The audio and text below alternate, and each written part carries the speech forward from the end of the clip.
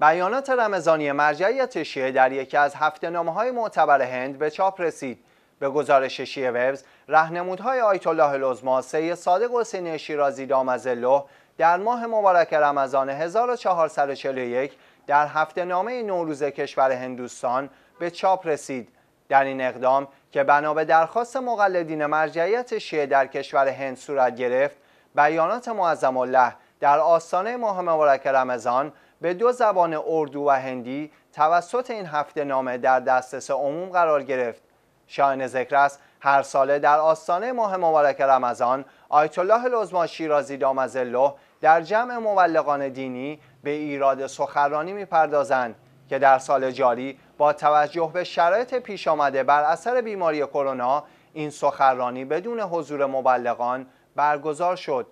سخرانی معظم الله از شبکه های مجموع رسانه امام حسین علیه السلام و بسترهای مجازی با ترجمه همزمان به پنج زبان و به صورت زنده پوشش داده شد.